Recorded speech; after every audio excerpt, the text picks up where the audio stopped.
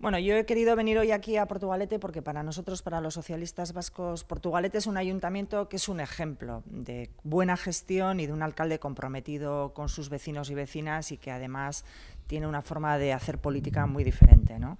Y por eso también hemos querido, hemos querido estar aquí, he querido estar aquí hoy con, con Miquel Torres. Pero nosotros también quiero decir que teníamos un acuerdo con el Partido Nacionalista Vasco de estabilidad para el conjunto de las instituciones, es decir, para las diputaciones y para los ayuntamientos vascos, que además respondía a la demanda que los ciudadanos en Guipúzcoa, por ejemplo, habían expresado claramente en las urnas, que era cambiar la forma de hacer política a la que Bildu había arrastrado a todo el territorio guipuzcoano en su conjunto y lamentablemente nos hemos encontrado con que el PNV ha roto el acuerdo que teníamos firmado con nosotros y por lo tanto el Partido Socialista a la vista de esa ruptura del acuerdo, nosotros en Vitoria no vamos a responder a la petición que ha hecho el Partido Nacionalista Vasco de votar por su candidato Hurtaran. Votaremos en blanco. Euskeraz, mesedes, ¿queréis preguntar, bueno, ¿queréis preguntar algo más? Andoainen, orduan andoainen gertatutakoaren on, horrek ondorioak ekarriko ditu, ezta? Bueno, guk eh, lehenengo eta esan nahi dut, hemen Portugaleten, Portugaletera etorri naizela, uste dudalako Portugaleteko udala eta alkatea, Mikel Torres gaur berriz alkatea izan, izan dena, e, beste modu bateko politika egiteko eredu bat da, hemen oso ondo gestionatzen da, eta ba, hemengo biztanleek horrela bermatu dute berriro euren konfiantza Mikel Torresen eta alderdi sozialistan. Horrezagaitik, onaino, etorri naiz, berarekin egoteko eta herri honetan egoteko. Baina hori esan da baita ere nahi dut esan guk egonkortasun akordio bat geneukala alderdi jeltzalearekin erakunde guztietarako, foru aldundietarako eta udaletxetarako.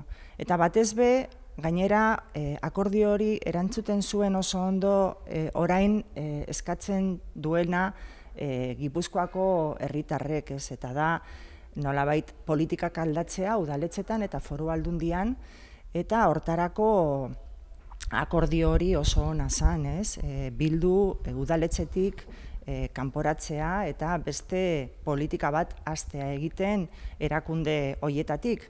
Tamalez ikusi dugu gargoizean nola alderdi jeltzaleak ez du bete akordioa, apurtu egin du akordio hori, eta orduan guk azke sentitzen gara gazteizen ez boskatzeko e, urtaran jaunaren alde, alde eta zuri bozkatuko dugu gazteizko udalan.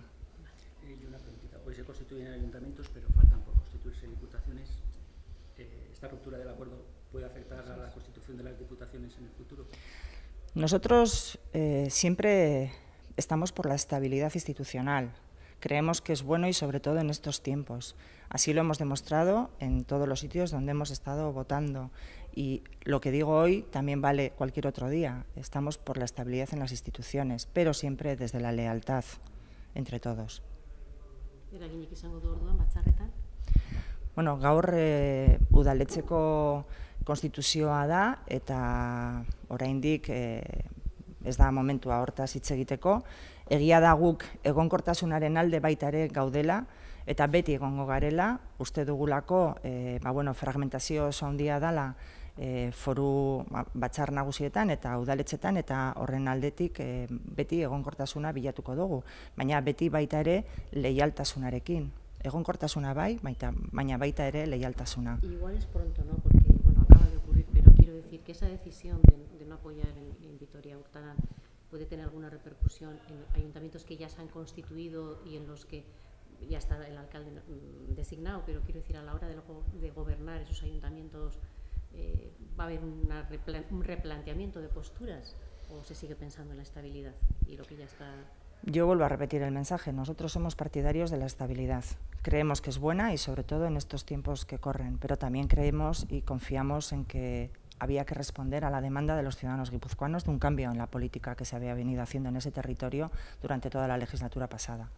El acuerdo que teníamos firmado servía para responder a esa demanda ciudadana y lamentablemente el acuerdo se ha roto.